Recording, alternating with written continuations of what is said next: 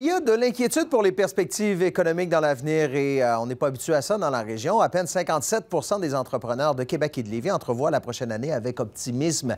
Euh, c'est une baisse de 15% depuis un an.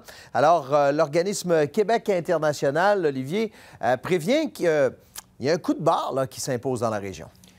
Oui, Bruno, parce que ce sondage mené par Léger pour Québec International laisse quand même songeur. Donc, c'est le sondage conjoncture. C'est un effort annuel. Il y a 280 ou à peu près chefs d'entreprise qui ont été sondés fin 2023 à Québec et Lévis. Et vous l'avez dit, 57% à peine des répondants qui sont optimistes pour la prochaine année. C'est 15 moins que l'an passé.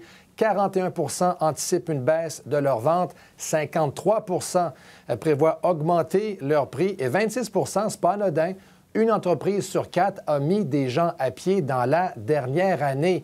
Alors, ce mauvais sondage-là semble s'ajouter à une trame de fonds économique assez mauvaise à Québec quand même. Depuis 2022, il faut le réaliser, la région de Québec arrive dernière au pays pour la croissance de son économie, le PIB, le produit intérieur brut. Ça, effectivement, c'est nouveau, Bruno, parce qu'avant la pandémie, Québec menait la charge au pays pour la croissance de son économie. Alors, qu'est-ce qui se passe?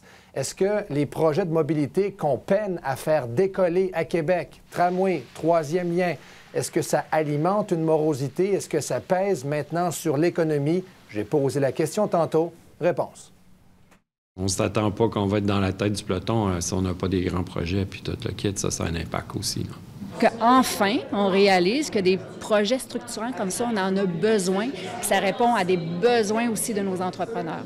On a besoin d'air pour nos entreprises, on a besoin de projets, on a besoin de positifs. J'aimerais ça que cette année, on ait des bonnes nouvelles. Bon, à Québec, à l'Hôtel de Ville, l'opposition demande au maire Marchand de faire de l'économie sa priorité, tout simplement.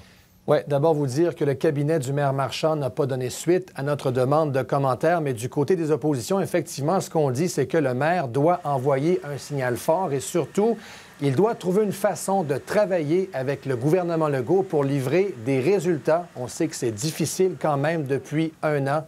Voici donc deux réactions. On a travaillé beaucoup dans les dernières années. On a travaillé énormément pour amener Québec à euh, ce niveau-là en matière économique. On ne peut pas gaspiller tout ce travail-là. On a des entreprises pour qui c'est nécessaire. Pour l'instant, on a entendu le maire parler. Il est très fort là-dessus. Il a toujours été excellent.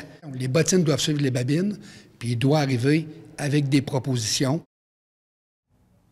En terminant, Bruno, du côté du ministre responsable de la capitale nationale, M. Julien, son cabinet me dit ce soir que le ministre va continuer à se battre pour faire atterrir des projets majeurs à Québec.